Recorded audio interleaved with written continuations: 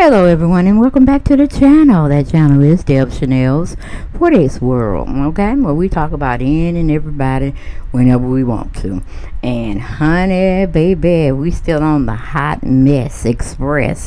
Whether we traveling by choo-choo train or whether we up high in the skies floating at 53,000, 58,000 feet, okay?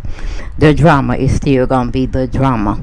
And the drama of the day is Kenya Moore, Marc Daly. Such a dilemma, and it is a dilemma.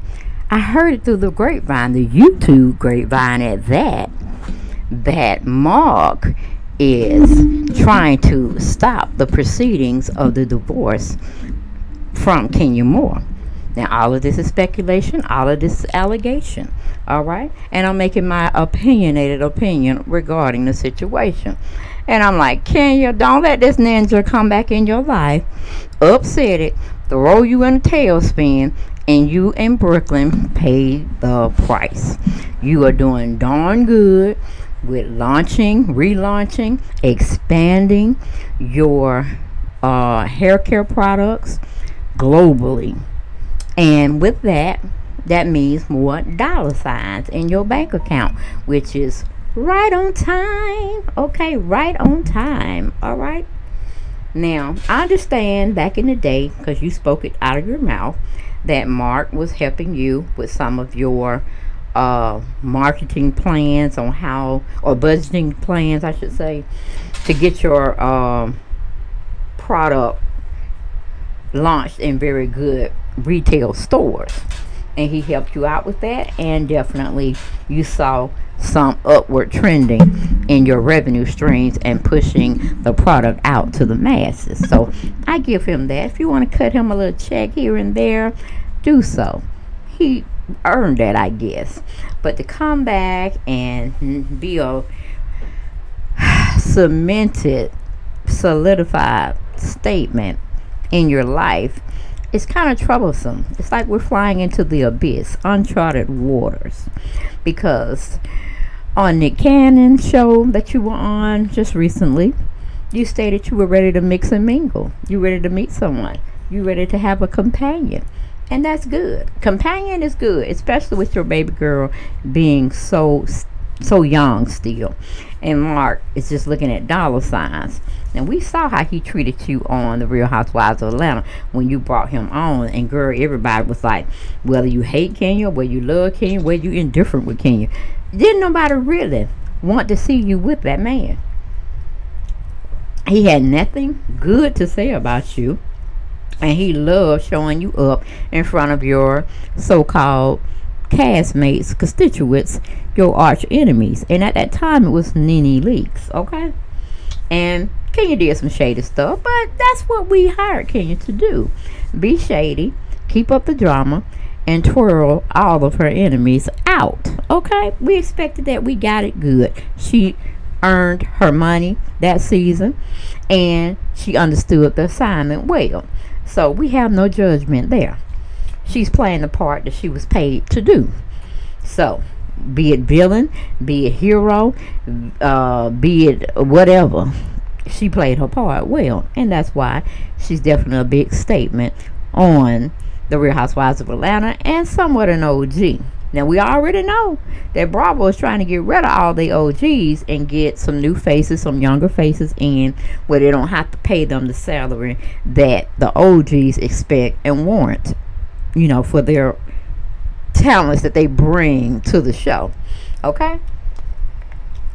And really, there's no talents to bring. If, if you want to be uh, in a fishbowl type of living and you want to bring a little drama or a lot of drama, however you see it, that will make your pay grade go up when it's time to negotiate a new contract.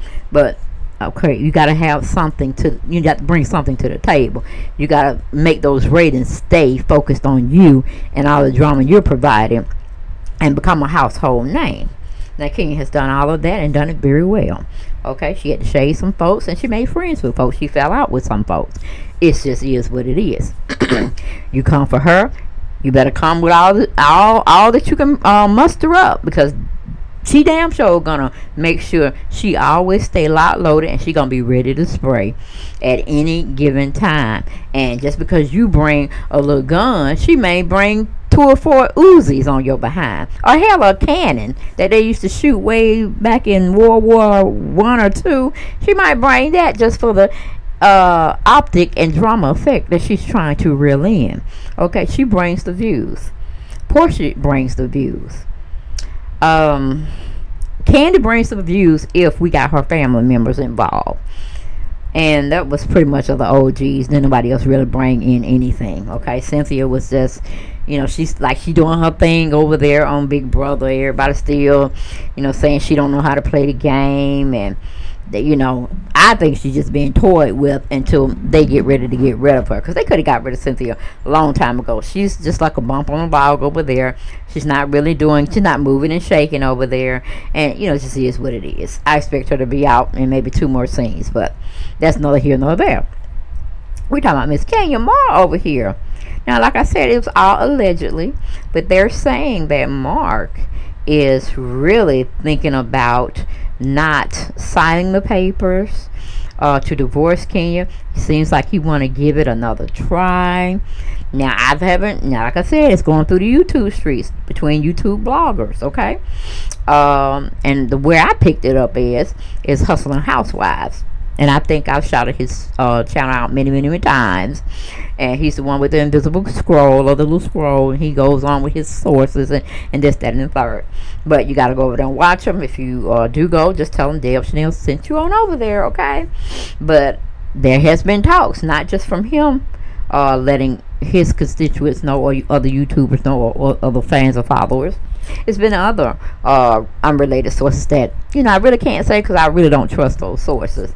But again, there has been talks out there that Marc is trying to get or win Kenya Moore back to his side. And I'm like, whew, I'm about to have two or four or maybe a case of wine to even accept that Kenya should be even thinking about or entertaining the idea of bringing him back. I know he is Brooklyn's dad.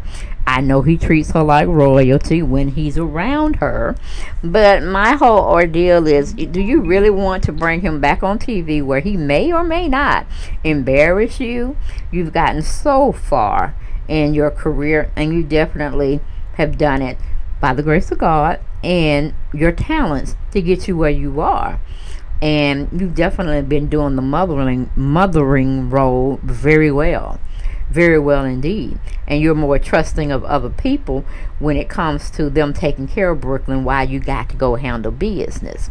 But we never see you out here uh, chasing after a man, throwing your money on a man, um, being stupid for a man. Those are not your traits. That's not your characteristics or your demeanor. And I applaud you for that um, and even in the past you always um, you know let them, a man chase you. And um, if they are worthy you will stop to see what he wants. You see what i'm saying? You see where i'm going with it? Okay? Now we all know kenya has her flaws too so i'm not gonna make like she's um Mother T- uh, Teresa or anything like that because we know she died. Okay, but just how she gives us the optics that she wants us to see and what she wants others to see her do because she does hold herself in high regard as being a queen. You know what I'm saying? Now, like I said, you like a lover, if you like her antics or not. She doesn't embarrass herself. She doesn't embarrass her family members. And she doesn't embarrass Brooklyn. Okay. So now we're not gonna go back far where she was trying to get her mama involved and trying to put her mama, you know, on the uh, firing block to make her a storyline. Now you know Kenya was wrong when she did that because if you want to find out about past relationships or you want to try to see and understand certain relationships you did or did not have with your mother, that definitely should have been kept off of TV. So I did not agree with you when you were trying to expose your mother and this, that, and the third. Because you had a wonderful childhood. You didn't have the mothering role that you should have had, but your grandmother solidified that role. She gave you enough love that even um, her love could transcend, transcend as well as overpower your real mother's love because she was there for you. She educated you. She taught you the ways of the world. She taught you how to be a mother one day, and she taught you how to love yourself, okay, and treat others well as well. And you, we know you had a very good um, relationship with your dad. We don't hear too much from you on you know since you've been back but maybe that's not something you want to put on tv now i understand that some things are left off of TV that should be left off of TV. You can't give everybody you. You know, you can only give them certain parts and certain parts you want to see. But we know you're not going to go out here and do crazy things that the media will pick mm-hmm. up. And it's not necessarily the bloggers. We're talking about paparazzi. We're talking about other heavy hitters that want to put you or dim your light in certain aspects. Okay? But we just want to know, can you, girl, check in with us over at the house, okay? Check in with us. Tell us what's going on, because right now it's looking like a hot mess. It's sounding like a hot mess, and we don't want it to be a hot mess for you. You've been doing very well without him. Unless it's another story you want to tell. Have you been seeing Marc on the low girl, and you just been keeping it out of the public's eye? Now that'd be a, another significant story to tell, because you're gonna be making us all look like fools on YouTube, because we were taking up for you, thinking Marc wasn't in your life. Now, if the husband is back in your life and you enjoying it, then let us know, girl. Let us know. So we can either rain on your parade or spread some sunshine there.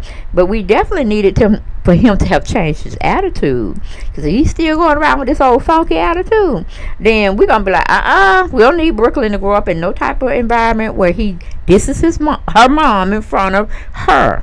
Because that means she's going to expect a man to diss her the same way you were taking it from Maud. Just trying to be, you know, the, a submissive wife, trying to you know, hear what he's saying to you that you know it wasn't right. His tone wasn't right. His statue on you wasn't right.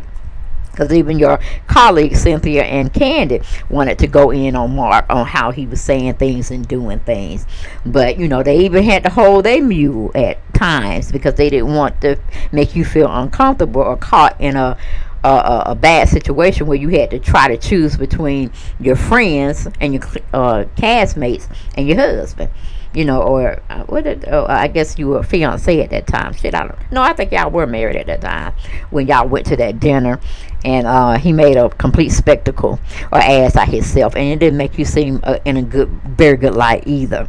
So, Brooklyn deserves more and you deserve more, Kenya. So keep that in mind as you're going forward and Marc is trying to pull the brakes or pump the brakes of not divorcing you on legal terms and you know check and see if he has a real motive you know because you've been blowing up. We know you make that six figure salary over at the real housewives of atlanta and we know you're got your business with your hair care. You don't talk about it that much like you used to but we know it's out there and you say it seems to be doing well. We can't find anything other you know to say something different.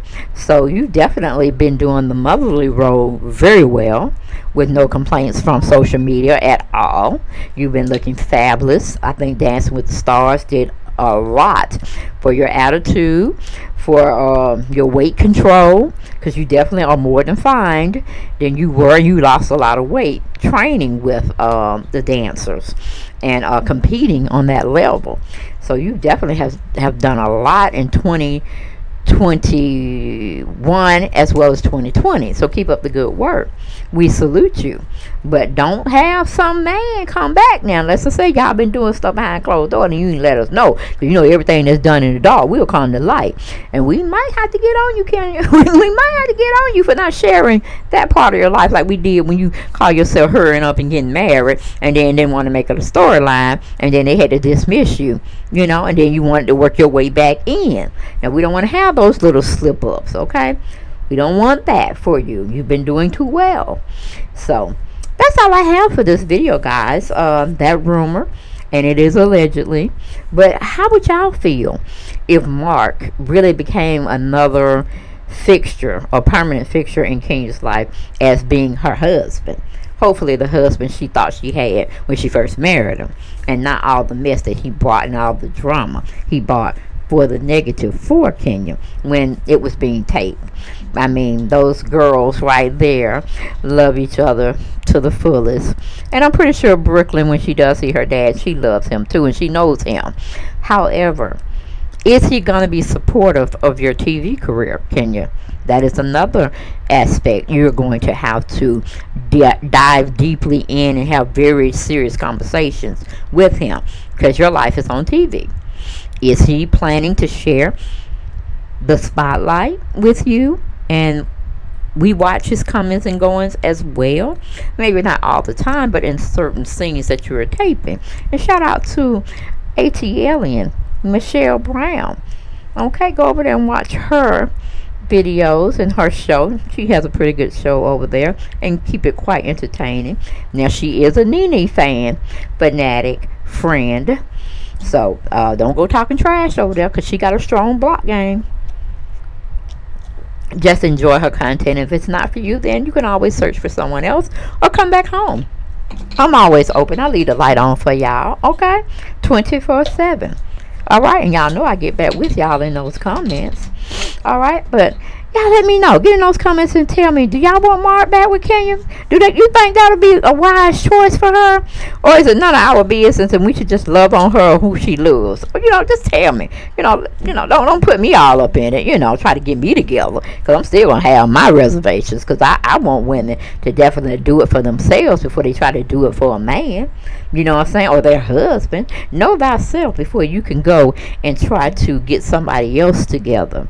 All right know thyself and what thyself can take and cannot take and won't allow and will allow in their lives okay because everybody's our guests in your life. When you get sick of them, you just tell them they are no longer warranted around you. Your peace is priceless.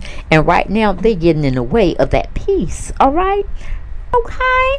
And how Madea used to say, peace will be still. When you pull out that silver gun on them or a black gun on them, that is your peacemaker.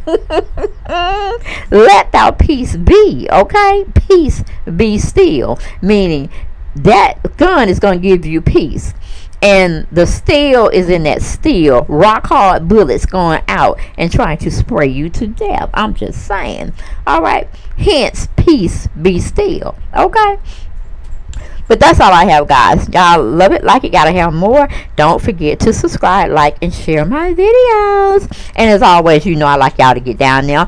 Put them comments down there so we can interact with one another. And be nice in the chat. Because everybody has an opinion. But, you know, sometimes some people go a little bit too far. And the block game is strong. Trust me. I'm not going to really put up with a lot of mess no more because I don't put it up. I don't put up mess in my family, in my real, real family. Y'all my biological family, so I think I need to keep that rule of thumb here on my channel. If you don't want to be here, if you don't want to talk about subject matter, you just want to be somebody over here just creating uh, chaos, you got to go you are no longer welcome. I'm just saying, I'm just keeping it real, okay? Because I like my peace. I like my family, my YouTube family to have peace. And I want it to be an open forum. Okay, I want no crazy folk coming over here and talking some shit. Don't think I won't get back with them. Because that ain't, this ain't the channel for you, okay? This ain't the channel for you. Sometimes I got time. Sometimes I don't have time. but I'm going to make some time to be blocking some people if they don't watch their tone and how they present themselves in the family. Okay? It's a family chat. All right? We want peace and understanding. We can deal with uh, being different or indifferent with a certain people's perspective on certain things, but everybody's very opinionated. But we ain't got to be nasty about it, and we ain't got to go jump on somebody about it. Okay? So get with it. Be there, be square, and I'll see y'all next video. Bye bye.